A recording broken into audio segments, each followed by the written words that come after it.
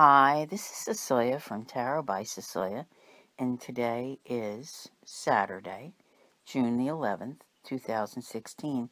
The tarot card for today is the Nine of Swords. Now, you know, I'm not at all surprised. I was looking at this and I'm like, really? Like now?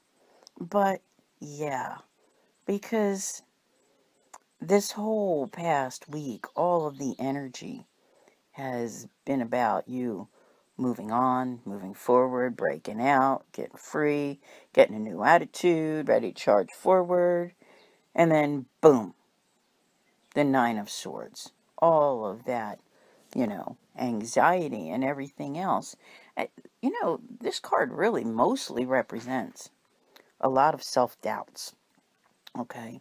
And, you know, some people go through um, nightmare phases, bad dreams, things of that nature. You know, in the daylight, you really need to stop and think about it. Why are you feeling this way? Really, it's just fear of the unknown.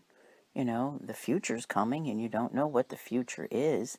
You know that life is going to be totally different, but really, truly, it's all going to be okay. And it's not good to torment yourself over these things. But like I said, I'm really not surprised to see, like, all of a sudden, after all this progress being made this week, that there's suddenly this moment of self doubt. So we can't go along having these, uh, you know, making a mountain out of a molehill type moments where we're doing the what ifs, what ifs. You can't keep second guessing yourself. You know, that part that you left behind, it's done. It is done. Okay. So don't let it be a part of what you're working on or where you're trying to go. You may not know where you're going yet or exactly where you're going.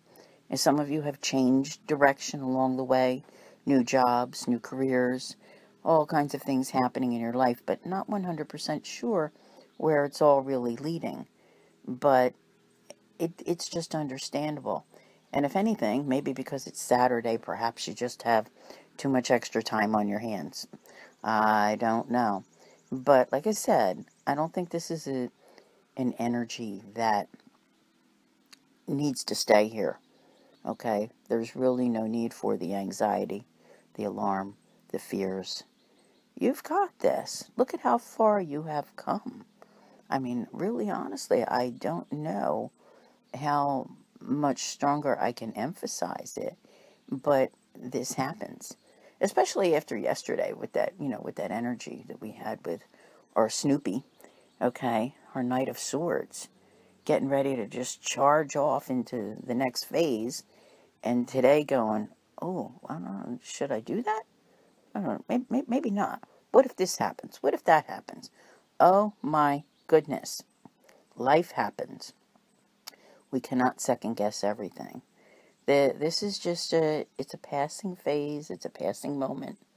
You know, try your best to put that energy and anxiety to some other good use so that by the end of the day, when you go to bed, you get some sleep because that's what's most important.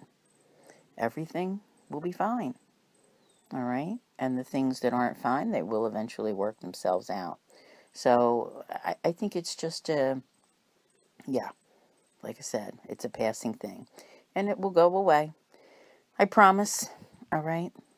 So let's just meet back here again tomorrow. I want to thank you all for listening, and I'll see you here again tomorrow. And as always, have a great day.